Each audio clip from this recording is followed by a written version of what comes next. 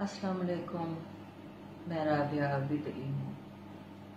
जैसे कि आप सब लोग जानते हैं, आबिद साहब कुछ अरसे से बीमार हैं। बीमारी इतनी अचानक और शदीद थी कि संभलने का मौका ही नहीं मिला। कुछ दिनों से हॉस्पिटलाइज्ड हैं आबिद अली साहब। तबीयत उनकी काफ़ी क्रिटिकल है। मेरी आप सबसे दरख्वास्त है।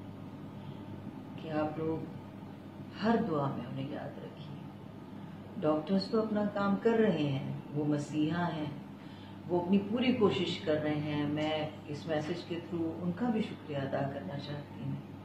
लेकिन आबिद अली साहब से मोहब्बत करने वाले दुनिया के हर कोने में मौजूद हैं। और मेरी आप सबसे दरख्वास्त है कि आबिद साहब की सेहत के लिए ख़ास दुआ करें। अल्लाह ताला उन्हें जल्द